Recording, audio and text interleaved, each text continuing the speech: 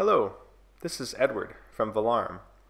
In this video, you'll see how easy it is to download your geotagged Valarm sensor data as a KML file for use in Google Earth or any other software program. First, log into your Valarm Tools cloud account at tools.valarm.net.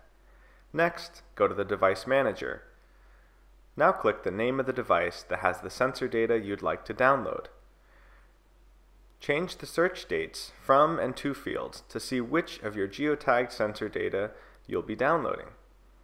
Next, click the Download KML button and check the box if you'd like paths drawn between the sensor points.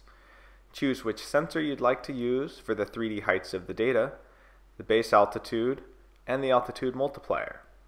In this case, we're visualizing VOC air quality sensor data gathered from the rooftop of a public transit bus in Los Angeles, California. Last, click the Download button. That's it. You can open your KML file in any program you'd like, such as Google Earth.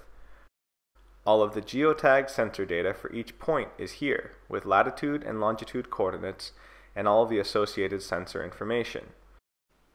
In this case, you see data from the air quality VOC sensor. Now try it yourself with your own Valarm mobile sensor data and let us know how it goes.